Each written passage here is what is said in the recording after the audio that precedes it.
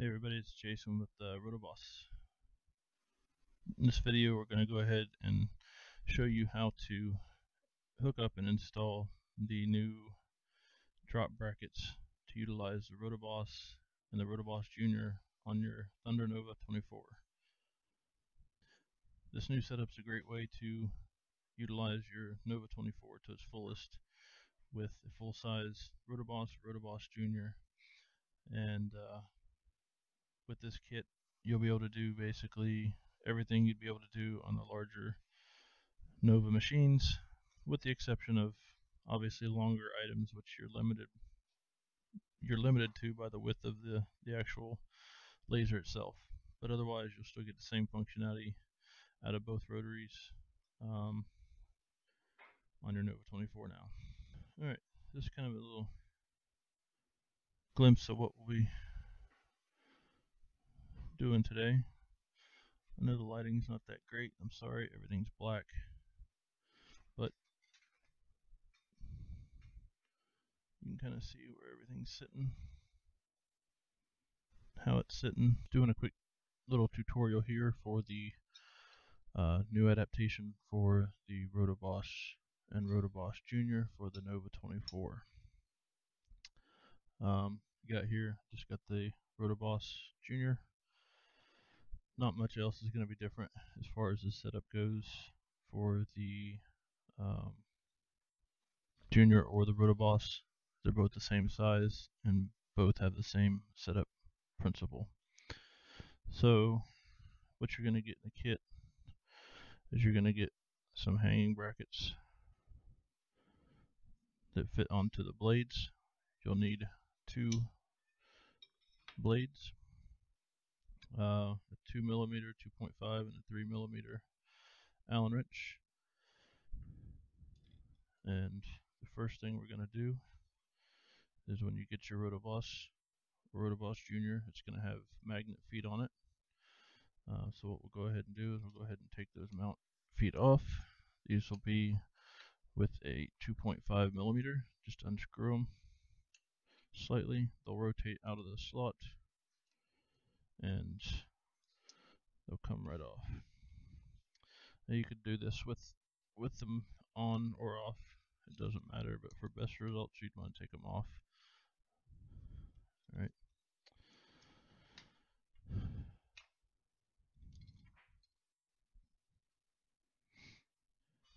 Next in your kit, you're going to have four captive T-nuts. Those are going to slide into your track here. As you can see, we got one of them already in there.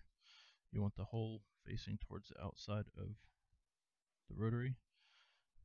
And to put these in, you drop them in the track and just slightly rotate them and they'll, they'll fall right into the spot and they won't come out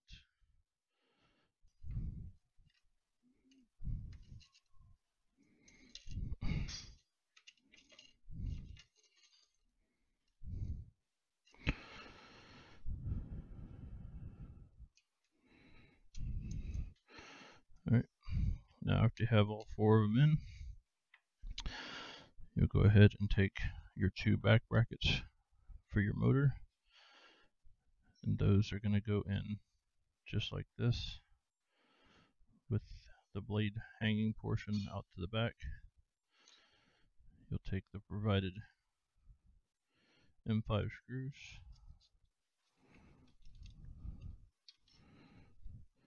For now, you just want to leave them kind of loose because you're going to need to adjust them.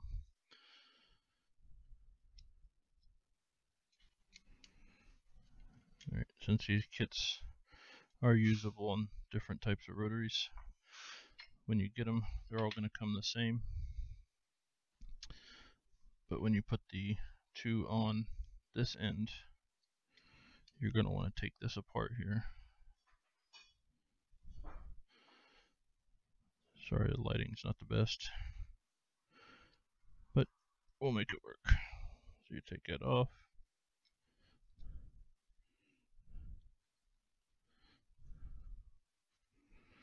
And these are adjustable. So for the junior, they're going to come on the two lowest spots. Uh, for the Rotoboss, you want to put them up on the two higher spots. So they'll come down like that. For the Rotoboss, you want to put them up on the highest spot. Just like that. So now, take that, you flip it over.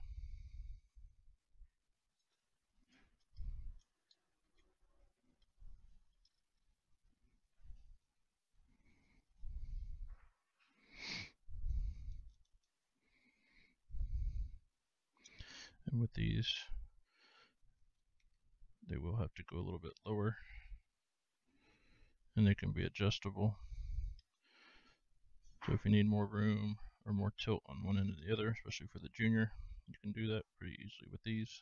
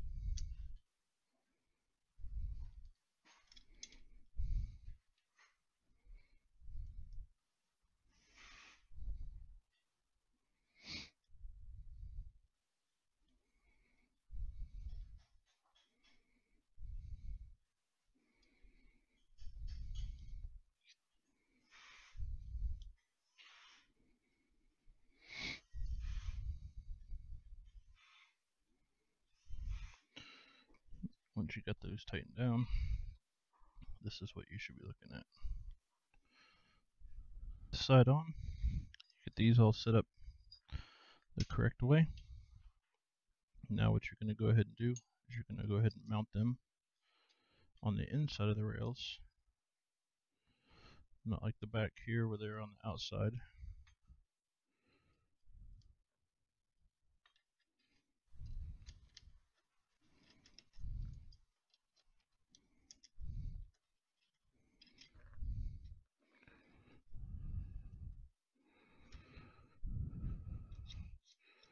Alright, just make sure everything's nice and loose.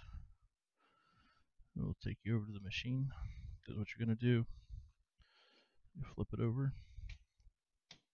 You go ahead and take one of your bars. Go ahead and slip it into place. Take your second bar.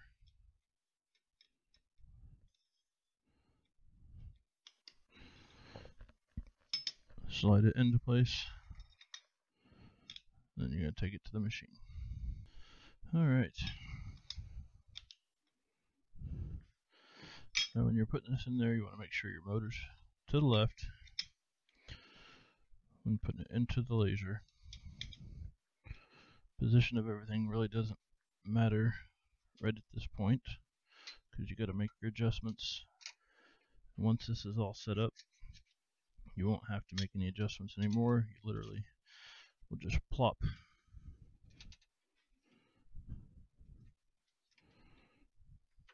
plop the blades down in.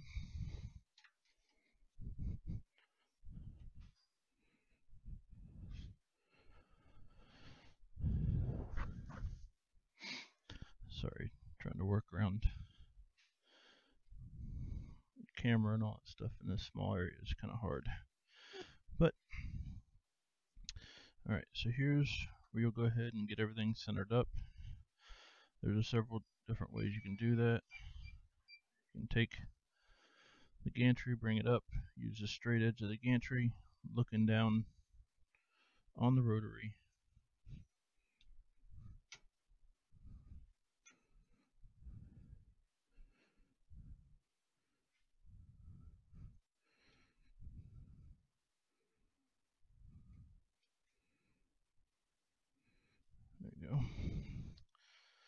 now everything's lined up. You're going to take your 2 millimeter. Alright, so once you got your Allen wrenches, there's grub screws on the inside of this arm.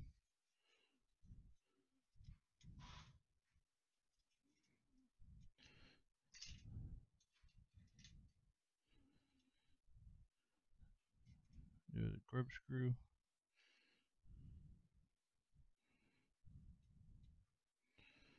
Tight, make sure the bracket's all the way pushed down.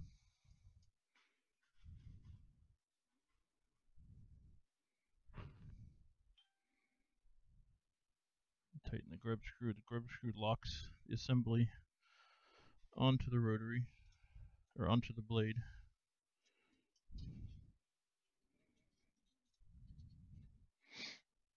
That way when you remove the blade and put them back in, everything's in the exact same spot each time.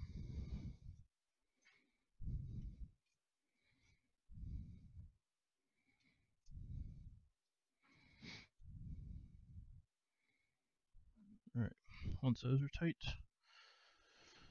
you can go ahead and do this two two different ways really.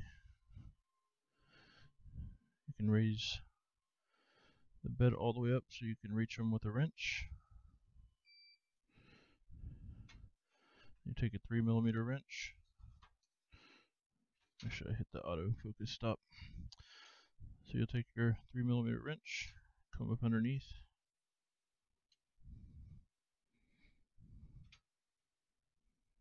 tighten it down, tighten that one down. Once you get all four done, everything's locked into place.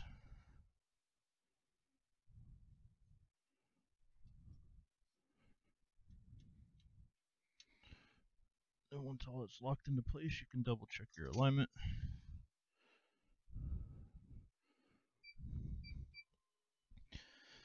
Just make sure you lower it down so you don't hit the bring your gantry forward.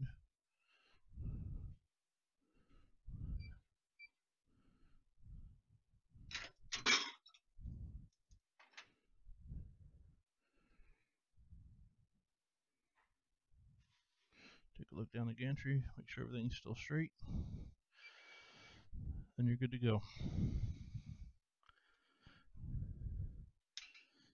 Take a little bit of time to get it set up, but like I said, once it's set up, literally all you do, reach in, pull it out, put your honeycomb bed back in or the rest of your knife blades, and then when you want to put it back in, pop it down in, everything's in place, ready to roll. This is done is done the same way with the Rotoboss. Um, so there's no difference between the two as far as how this is done. Um, this is obviously the different ones. Like right now, so we can take you off here and look, let you see. Alright, so if you look down here, you'll see this one is on the bottom two. So what this is doing, these are on the bottom two and the bottom two of this. Alright, now this side is on the bottom two, or the top two, and then the bottom two of this. So what that's doing is putting this at a downward angle, so it'll give you more throw when you're trying to level stuff here for different kinds of objects, like water bottles, things like that. When you're doing the rotoboss, you want to make sure that both sides are just like this one, we're at the top of the bracket and then the bottom of the hanger, which is this piece right here. So both sides will be the same as far as that positioning. Remember, these hangers, or these brackets get mounted on the inside of the feet on the slave wheel side. And then these get flipped around from this direction. Is this So just for reference, this is how they come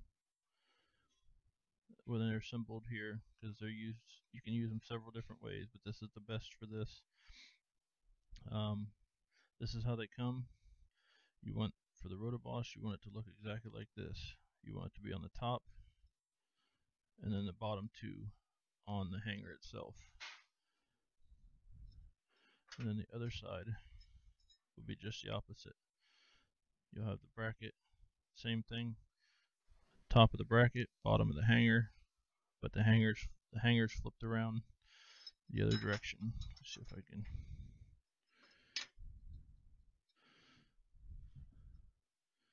If you look at them there, you see the difference. This is your motor side, this is your slave wheel side.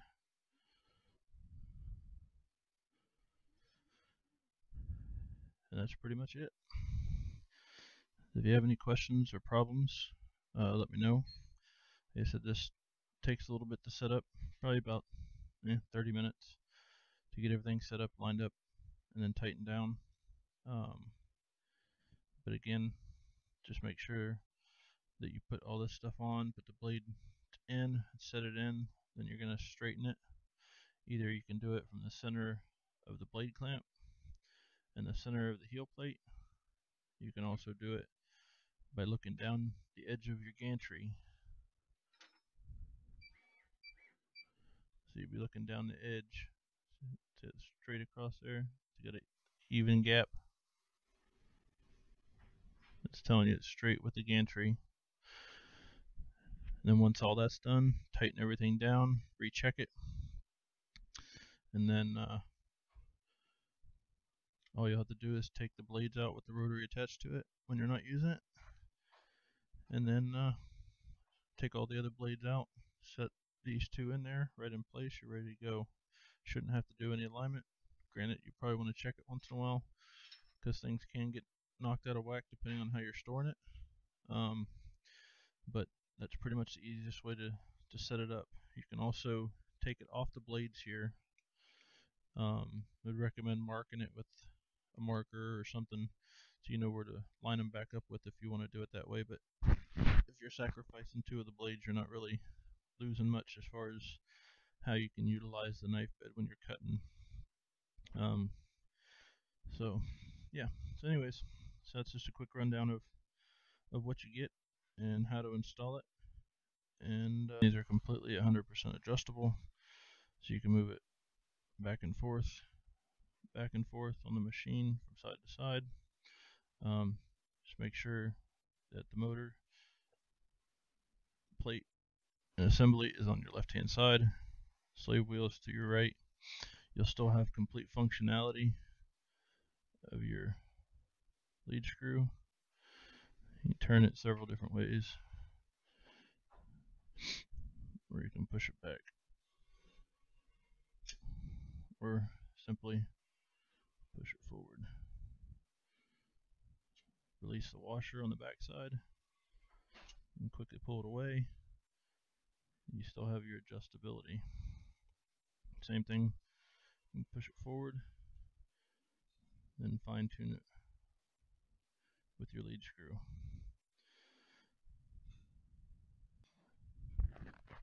Alright, thanks for watching this video. I hope it was informative and helped you figure out how to install the new drop brackets for your Rotoboss and Rotoboss Junior. If you have any questions, please feel free to reach out to me.